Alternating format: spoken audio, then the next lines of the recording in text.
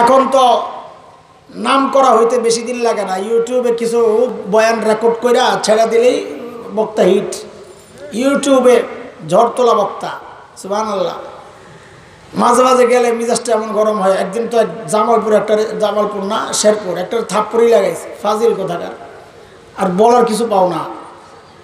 যে ইউটিউব খুললেই যাকে দেখতে পাবেন, বলছে কারবারটা শোনার ইউটিউব হলে আমাকে পরিচয়। গাধা কোথাকার তো ওনারা পরিচিত হইতে বহু কষ্ট হয়েছে কোনো প্রচার ছাড়াই পরিচিত হয়েছে আস্তে আস্তে, ধীরে ধীরে। গোটা দুনিয়ায়, বাংলাদেশে ছড়াইয়া ছিটাইয়া বয়ান করতে করতে মানুষ তাদেরকে মহাব্বত করছে, সম্মানের জায়গায় বসিয়েছে। অনেক কষ্ট হয়েছে তো মুস্তফাল হুসাইনী রহমতুল্লাহ আলাই, এই গল্প আবার আমাদেরকে শোনাইছেন হজরত মাওলানা মুফতি দেলোয়ার শাহ হুজুর। কাজী সনদ একদম মোত্তাসিল মানে মাঝখানে কোনো গাপলা টাপলা নাই। হজরত রাতে হাইওয়েতে যে ভিলেজগুলো থাকে, খাওয়ার রেস্টুরেন্ট যে থাকে, ওই এক রেস্টুরেন্টে বসে বসে খাইতেছেন। মাহফিল শেষে। কারণ মাহফিলের শেষে অনেক সময় এরকম হয়। আয়োজকরা আসার সময় তো একদম বহু দূর থেকে হুন্ডা দিয়া, স্লোগান টোলোগান দিয়ে আনে। বয়ান শেষে কোনো কোনো জায়গায় এমন হয় যে বক্তা করে আর চিনে না।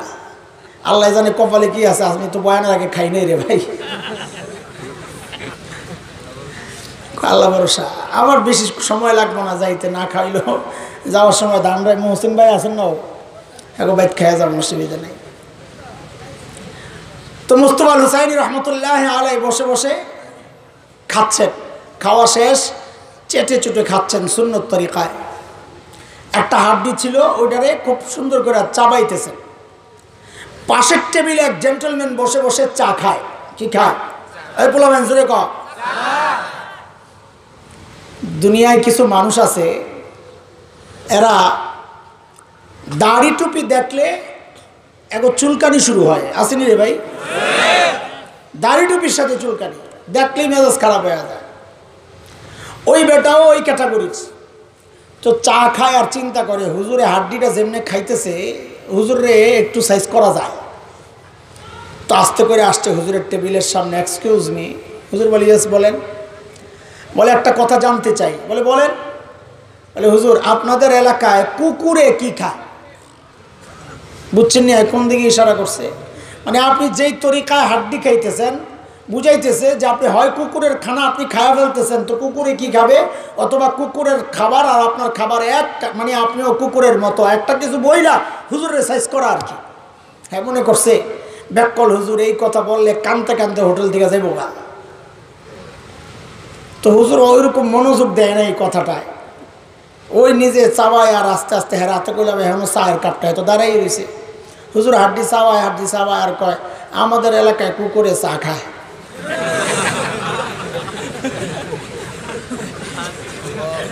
এমন কার কান্দা, কে কান্দে? আলেমরা বেকুফ হয় না। তুমি মনে করো বেকুফ ধরা খাইবা, বেকুফ মনে করলে। আলেমরা সরল সোজা, কিচ্ছু বলে না। হ্যাঁ যখন দিন আক্রান্ত হয়, তখন বোঝা যায় এরা কিছু বুঝে না বুঝে না। জাগা মতো ঠিকই চেতে যায়। কথা কর। হজরত কাসিম নান তুমি রহমতুল্লাহ আলাই নাম শুনছেন? দারুল দেওবন মাদ্রাসার প্রতিষ্ঠাতাদের একজন। লম্বা সময় দায়িত্ব পালন করছেন। আজাদি আন্দোলন ইংরেজ খেদা আন্দোলনের সিপাহ সালার দেওবন মাদ্রাসার পাশেই ছোট্ট একটা মসজিদ। ওখানে থাকেন ইংরেজরা খবর পায়ে আসছে গ্রেফতার করার জন্য। চারোদিক থেকে ঘেরাও করছে। ধরবে। ভিতরে ঢুইকা দেখে এক আল্লাহর বান্দা গেঞ্জি গায়ে লঙ্গি পরা ঝাড়ু দেয়, মসজিদ ঝাড়ু দেয়। উনি কাসেম তুমি এরা বুঝে নাই। এরা মনে করছে এত বড় বিপ্লবী, পেটটা তাঙ্গ দমবাগি হুজুরের মতো কমপক্ষে হওয়ার কথা। পাবলিক তো এখন এমনই, যত বড় পেট, যত বড় হাবা কাবা, যত বড় টুপি, মনে করে অত বড় হুজুর। আমার মতো মগা কোনো দাম নাই হোক আছে। তো জিজ্ঞেস করতেছে, কাসেম নানু তুমি কেই জিজ্ঞেস করতেছে? আই কাসেম নানু তুমি কাহা হয় কাসেম নানু তুমি কই? তো কাসেম নানু, তুমি যদি বলেন মুঝে পাতা নেই, আমি জানি না, তো মিথ্যা কথা হয়। আর যদি বলেন মেই হোম আমি কাসেম না তুমি তো তো ধরে। বিচক্ষণ, আলিম বিচক্ষণ, উপস্থিত বুদ্ধি, কি করছেন? যেই জায়গায় দাঁড়াইয়া ছিলেন, ওখান থেকে সইরে আসছেন একটু। তো আগের জায়গাটা খালি হয়েছে না? এখন এই জায়গায় তো কেউ নাই।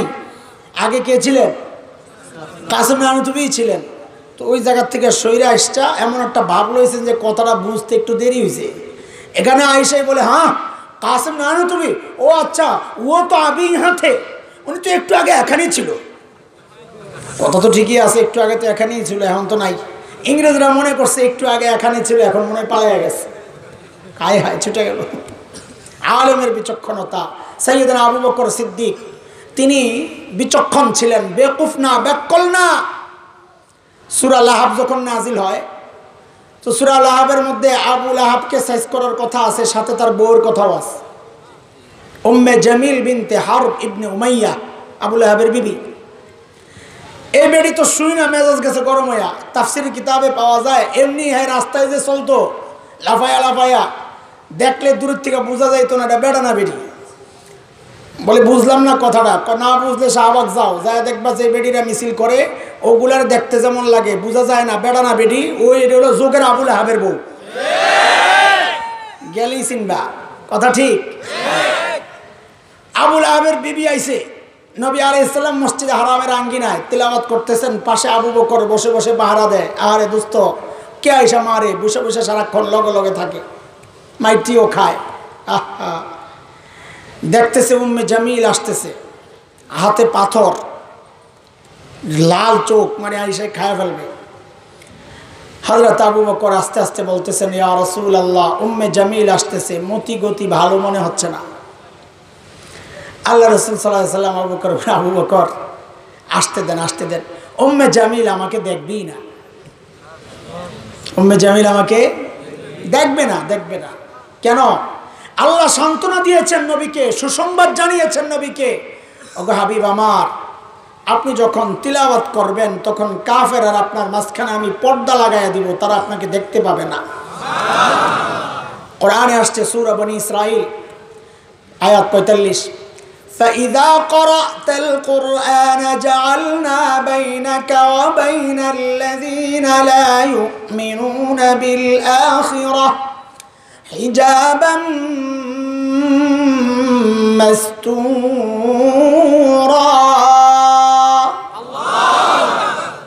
লাগাই দিছে। ওম্মে জামিল আইসাই খালি খোঁজে খোঁজে, কই গেল? আবু বকর দেখেই বুঝছে, ও, কারবার তো ফিট। নবী যা কইছে তাই, তুমি তো নবীরে দেখো না। হয় আবু বকর, তোমার বন্ধু কই? সেদিন আবু বকর কিন্তু চালাক, আস্তে করে মেরে দিছে, বন্ধু, খুঁজে দেহ কি কয়? আরে কথা কয় না। তুমি খুঁজে দেহ কয়, শুনলাম তোমার বন্ধু বলে আমার বকা দিছে। আবু বকর আল্লাহর কসম, আমার বন্ধু জিন্দিগিতে কাউরে বকা দেয় নাই। বলে, এটা কি মিথ্যা কথা হইল না? কারণ সুরাল হাবে তো আছে ঠেলা। তো মহাসিরা বলেন, না, এটা তো আর নবীর বকা না। নবী ঠেলা দেয় নাই। সুরাল হাব তো